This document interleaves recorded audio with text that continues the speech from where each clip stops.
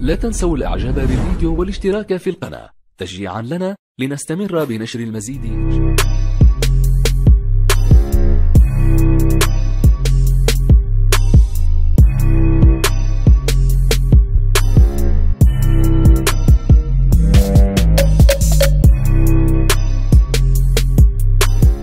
لكن إخراجها إعلاميا بهذه الطريقة ماذا سيكون؟ ستكون أرضية لخلق شكوك و... و...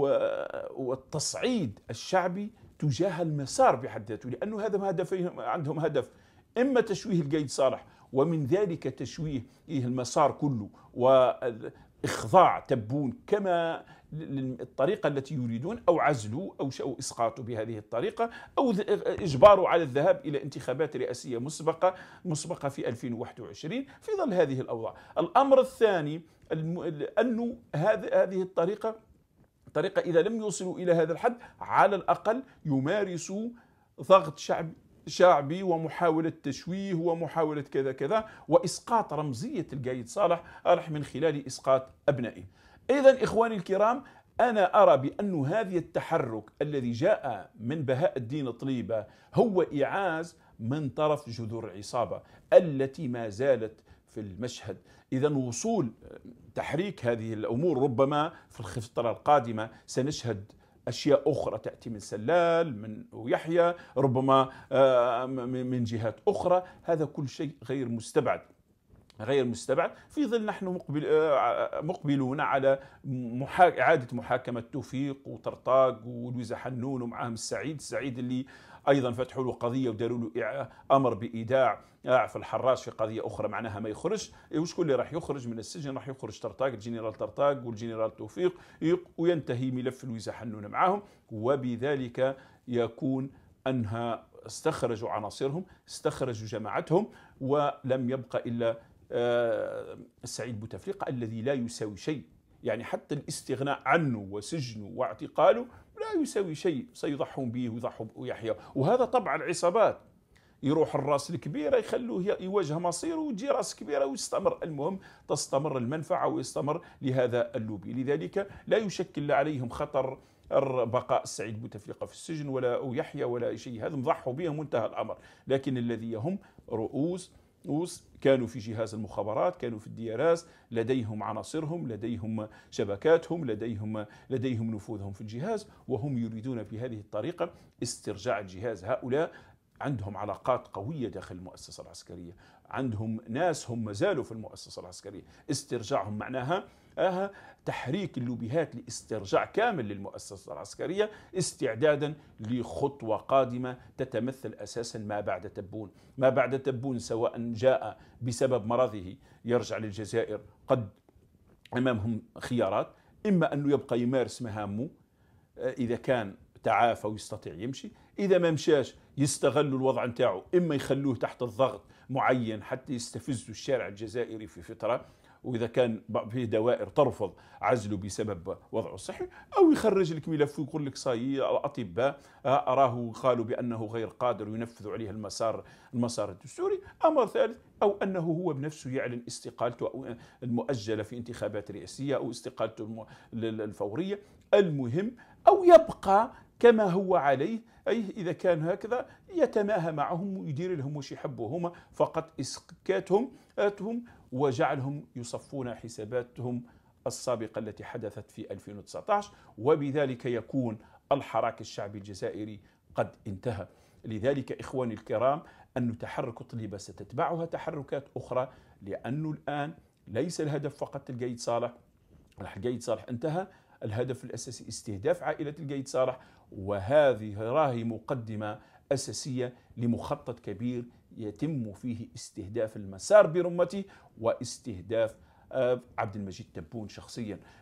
وعبد المجيد تبون إذا تماهى معهم في هذا المخطط أعتقد بأنه في النهاية سيسقط في فخ هؤلاء وبذلك يدفع الثمن غالي آلي وهذا ما سيضر به كثيرا.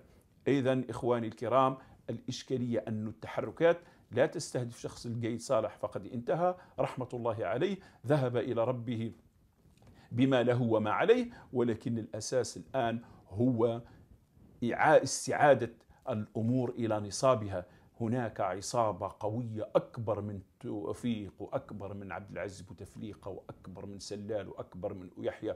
هناك لوبي يرتبط بدوائر خارجية. سيطر على الثروة أراد محو الثورة وهذا الذي حدث عبر الدستور ويريد استعادة الحكم والهيمنة وأخذ الجزائر إلى مسار قد يصل يوم إلى تقسيمها جغرافيا بعدما مزقوها ديمغرافيا من خلال ما طرحوه في أمور تتعلق بالهوية وأشياء كثيرة.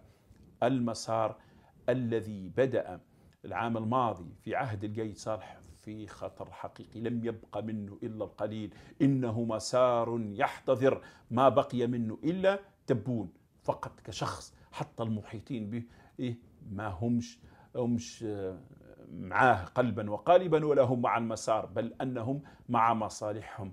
الحكومة والوزراء كلهم عادت العصابة في قناع جديد وثوب جديد وإعادتها ليس بسبب ذهابنا آبنا وتشجيعنا إلى ذلك المسار أو انه فيه جزء الكثير من الجزائريين ذهبوا إلى انتخابات 12 12 ابدا اعادتها بقوة هي بعد رحيل القيد صالح. لو بقي القيد صالح على قيد الحياة ما كان الأمر سيسير بهذه الطريقة وسبق وأن تحدثت لكم في أحد المداخلات عن التوصيات التي والإجتماع الذي حدث مع بين القيد صالح وتبون قبل أداء القسم وقبل تنصيبه وما تم الاتفاق عليه آنذاك في مسار الدولة الجديدة أو الجزائر الجديدة التي يتحدث عنها تبون.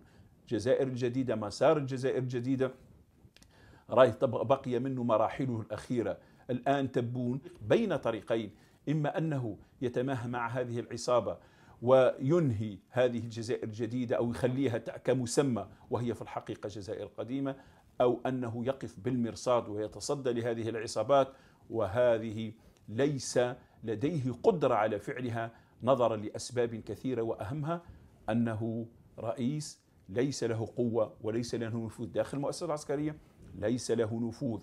داخل الأجهزة الأمنية ليس له نفوذ. حتى داخل رئاسة الجمهورية قاعدته الشعبية ضعيفة جدا وظهرت ذلك في استفتاء الدستور الذي استفتى عليه 3 ملايين أي معناها أنه رئيس بلا شعبية شعبية أبدا الحراك الشعبي ضد الرئيس يس الحراك الشعبي الأصيل سكت الحراك الشعبي الذي بقي مواصلة رسالته هيمنت عليه أطراف أصلا تعادي تبون تعادي القيد صالح تعادي المسار برمته وأمر آخر أنه بين هؤلاء من يتماهى مع أطروحات العصابة التي تريد استعادة زمام الأمور وزمام الحكم في الجزائر.